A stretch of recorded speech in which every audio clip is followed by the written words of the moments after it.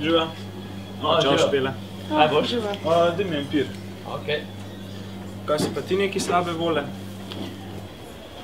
Mah nič, jih tle berem, da se spet benzin podražil.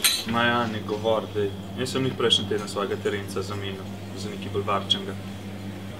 A res? Ja. Kaj si še na hibrida kupil ali kaj? Ma ne, neki boljšega. Le. Wow.